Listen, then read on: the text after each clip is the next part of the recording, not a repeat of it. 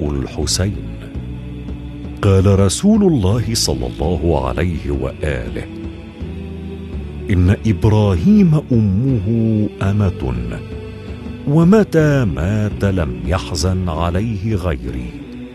وأم الحسين فاطمة وأبوه علي بن عمي ولحمي ودمي.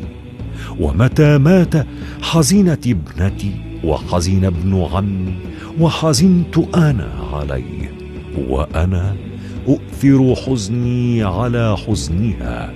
يا جبرائيل يقبض إبراهيم فدية للحسين.